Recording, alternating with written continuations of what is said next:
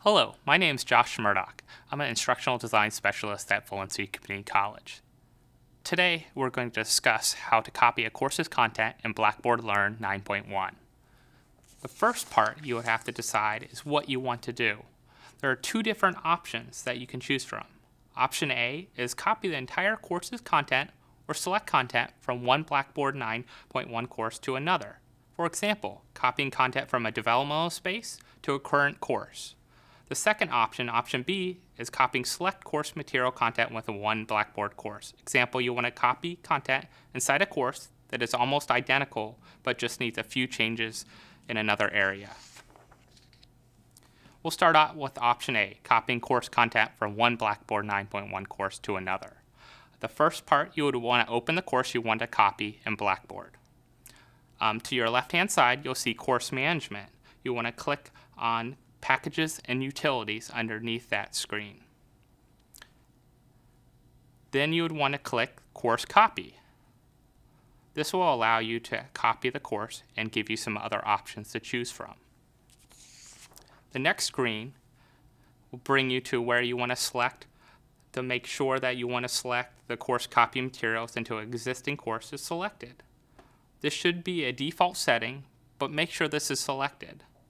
Um, the next step, you want to choose which course you want to copy the content into by selecting the destination course ID by clicking on the Browse button. This will open up our next screen. Now you'll be able to browse a course you have access to in Blackboard. Click the radio button beside the course you would like to copy your materials into.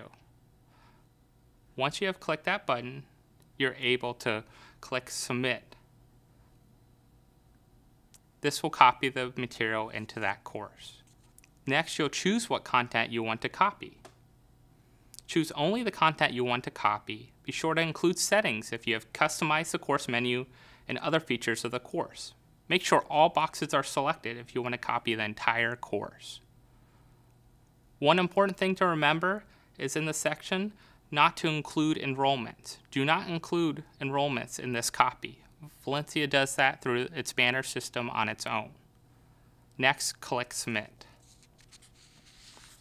Finally, you'll wait to receive a confirmation email in your Atlas to verify that all the material has been copied. It may take some time for your content to be copied, depending on the size of the previous site. Please wait for this email. Here's an example of what the email might look like in your Atlas account. Remember to wait for this so you do not copy the content more than once. Your content will appear in your new course. You'll want to check the copied course and the clean up the course menu if necessary inside this course. Important note, wait for the email. Do not attempt to repeat the course process again into that course. The next step would be option two. Option two is to select course material within one Blackboard course. This would be accomplished by finding the course content you want to copy inside that course. Select the drop-down menu from the content you want to copy. You'll notice this on the right-hand side of that material. Once you have selected that drop-down menu, you're able to select the Copy button inside that drop-down menu. This will allow you to copy the material inside that course. But if you would like to do the same steps for moving a content within that course, just click Move instead. This will allow you to move content within a course. Now you want to click the Browse button to find the destination course folder.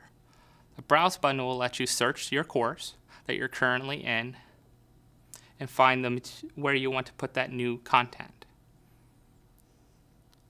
Click the folder you want to move the content to. For example, About Your Course is selected in this area.